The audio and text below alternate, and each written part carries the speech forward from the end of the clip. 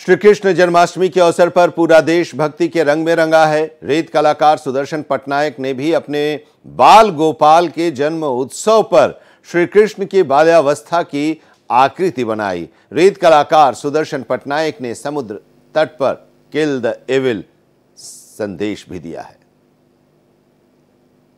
रेत कलाकार सुदर्शन पटनायक श्री कृष्ण जन्माष्टमी के मौके पर कृष्ण के बाल स्वरूप को उकेरा है। रेत पर और किल दैविल का संदेश भी दिया है।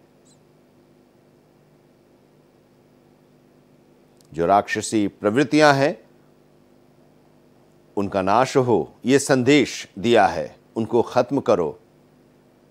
किल दैविल का संदेश दिया है। सुदर्शन पटनायक ने आज इस कृष्ण जन्माष्टमी के मौके पर रेत कलाकार सुदर्शन पटनायक ने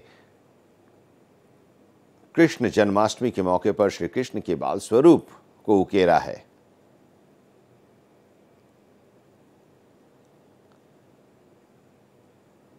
Happy Janmashtami.